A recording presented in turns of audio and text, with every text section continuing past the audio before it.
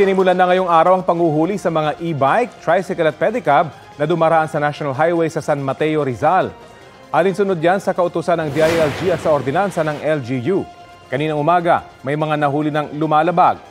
Ang mga mahuhuling e-bike at pedicab, pagmumultahin ng 2,500 pesos. 2,500 uh, 500 din ang multa sa unang dalawang paglabag ng mga tricycle. At pagwawalang bisa naman ang prangkisa pag umabot sa third offense. Kapuso, alamin ang maiinit na balita. Bisitahin at mag-subscribe sa GMA Integrated News sa YouTube.